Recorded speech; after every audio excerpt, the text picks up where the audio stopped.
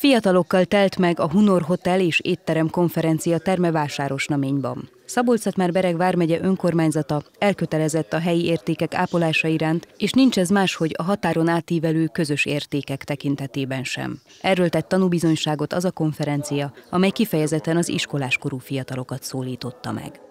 Nagyon fontos az, hogy meg tudjuk szólítani az utánunk következő generációt is.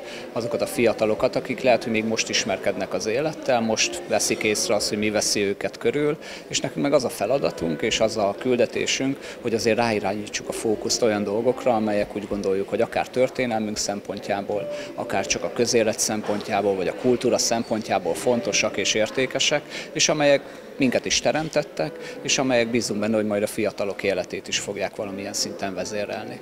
Ez lehet természeti örökség, lehet kulturális örökség, épített örökség, de ez mind-mind azért meghatározza az életünket, és körbevesz bennünket. Szokták mondani, hogy az értékeinkre vigyázni kell, de azért én meg szoktam ezt fordítani, az értékeink ránk is vigyáznak, minket is éltetnek, és ezért nagyon fontos az, hogy ők ezt ebbe belendüljenek, ezt megismerjék, megkóstolják, megszeressék, és valóban tudjanak odafigyelni azokra az értékekre, amelyek a szülőföldjükön, a településükön, a közösségekbe körbeveszik őket, és fontosnak is tartsák majd azt. Ez a mai konferenciának a fókusza.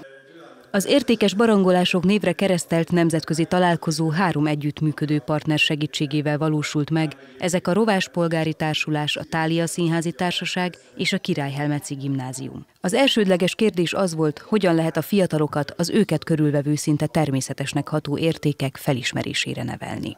Királyhámec egy pici város, észak-kelet, dél-kelet részében Szlovákiában, úgyhogy elhagyadott vidétnek számít.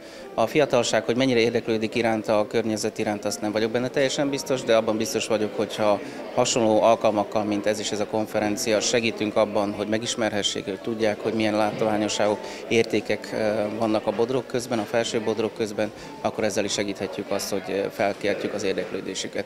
Mint említette, a mai fiatalság inkább ilyen instant formában veszi fel a kultúrát, úgyhogy lehet, hogy ehhez kellene nekünk is idomulnunk.